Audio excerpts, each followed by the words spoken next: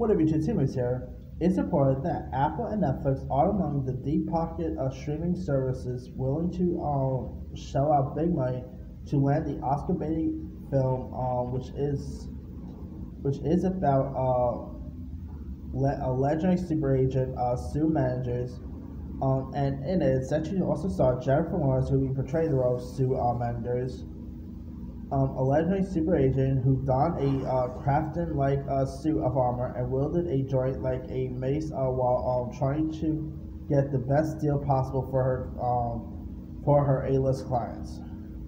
The film is said to be directed by the great beauty director Paolo Sorrentino. Wow, not bad.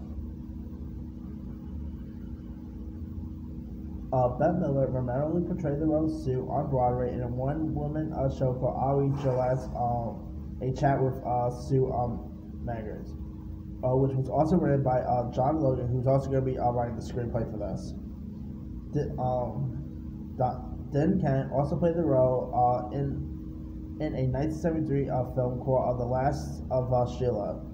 In her heyday, Sue represented the likes of Candice Bergen, Faye Dunaway, Gene Hackman, Ali MacGraw, uh, Steve McQueen, Ryan O'Neal, and most famously Barbra Streisand.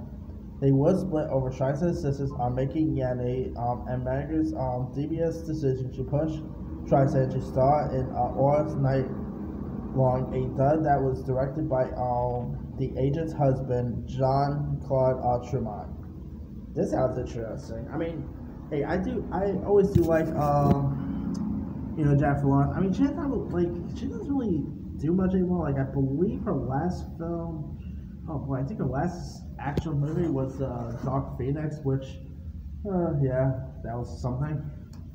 Um, she has some other stuff coming out as well, like uh, you know, she's in that new Adam McKay film, uh, Don't Look Up. She has some other intriguing stuff coming out as well. So it is nice to see Jennifer Lawrence making a bit of a comeback.